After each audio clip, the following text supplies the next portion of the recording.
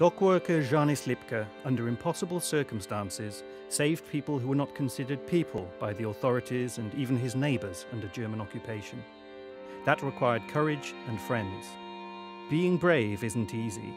Being in the minority isn't easy. Hating and suspecting any otherness is easier. It takes no effort. But we want to live in a country where our fellow men and women are considered people we would like our society to be brave, reliable, and considerate, capable of cooperation and self regulation, not expecting orders from above.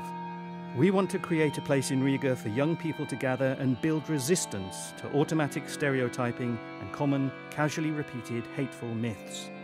Civic courage is something to be learned, to be taught, to be trained like a muscle, like a racehorse.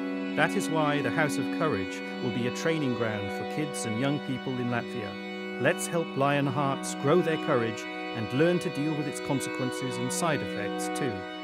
The House of Courage will be located right next to Žanis Lipke Memorial on the island of Ķīpsala, an integral part of the Knowledge Mile that already incorporates several universities, business centres, museums, and the National Library of Latvia. We are aiming high, but the target is well within reach. We want to be the springboard for a new civil society as it researches its history and brings courageous ideas to life, changing the world for the better.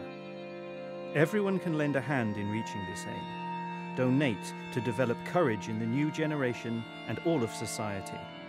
Donate to Lipke House of Courage.